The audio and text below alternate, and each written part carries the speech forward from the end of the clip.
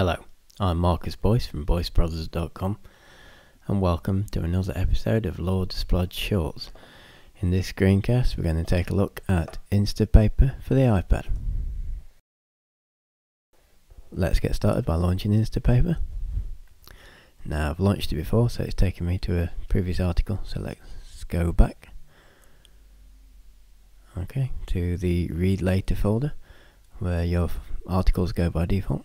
Let's look at this one. As you can see, you can scroll down and up using the default iPhone and iPad flick to scroll actions. You can also click at the top and either go back to the top of the page, like so, or you can click at the top to see the top and then return to current position. In the top right corner screen is a pagination button which lets you read the article by changing pages by clicking left or right on the screen to change page. You can change it back to normal scroll by clicking the button again. Okay, I'm going to go back to articles. And I'm going to move this item that I've previously moved. I'm going to move it back into the read later folder. So click the move icon, read later, there it goes. Now let's move it back. So into the read later, select the article, click the arrow, move to folder, and I'm going to select the OS 10 folder I created. You can also star an item, so you can read it offline, or share with others. There's my starred articles.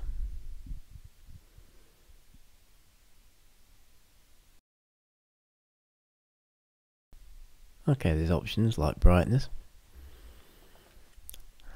You can change the font there's six fonts.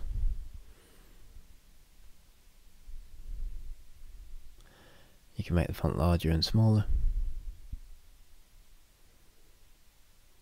Increase the or increase or decrease the indent and increase and decrease the line spacing.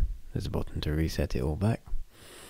There's also a dark interface option for reading at night. Gives you black background and white text. You can share articles by email, Tumblr, or post to Twitter.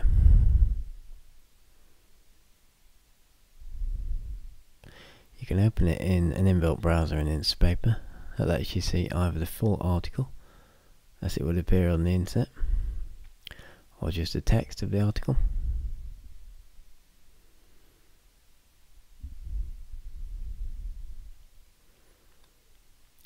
Now let's say I want to get more articles into it. So to do that, you go to Safari and you install the read later bookmark as described on Instapaper's website. Once you've done that, so I want to store this article of OS 10. Click on the bookmarks, click read later. Now this is the first time I've used it on this iPad. Okay, I've signed into Instapaper and there's the article about OS 10 from the Wikipedia. I can read it online if I want to. But I'm going to go back into Instapaper, open it up. Instapaper does a refresh. And there you go.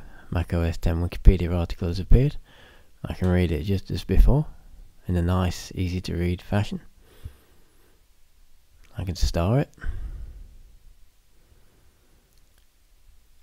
Right, I'm going to turn off Wi-Fi and cellular data to show you the main and most important feature of Instapaper and that's the ability to read articles offline.